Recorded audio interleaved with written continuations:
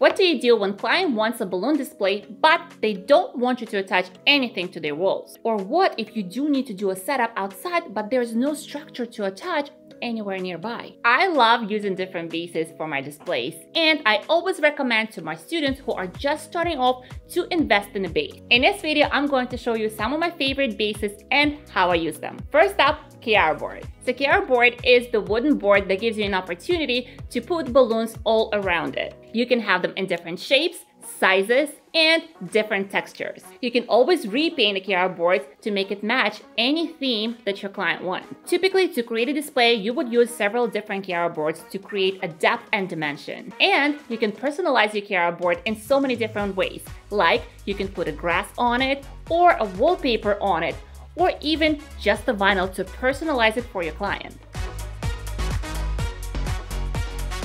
Next up are pipe-based creations. And when I'm talking about the pipe-based creations, I mean columns, our square creations, and our arches. These are very cheap and easy to make by using supplies from your local hardware store, and they're very easy to transport, and you can play with the sizes and shapes of it. In our inventory, we have smaller creations like these pipe columns behind me. We also have big 3D pipe creations.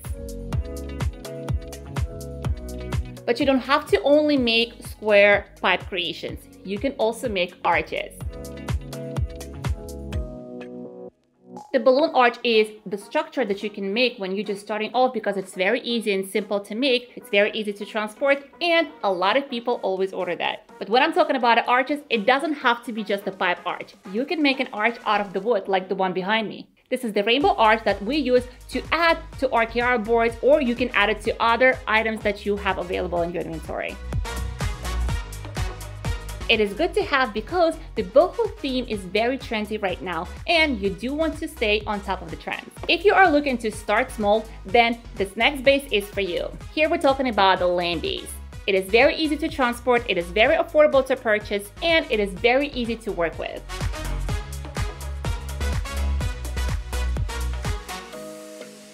You can find more information and tutorials about how to work with the lamp base right over here. And these were some of my favorite bases that I use to create my displays. If you would like to learn more about how to create your own bases, we have a lot of different tutorials inside of our online membership school. Inside Decor Lab School, we show you step by step on how to build different bases with list of tools and materials with links. Go to decorlabschool.com to become a member today, and I will see you in the next video.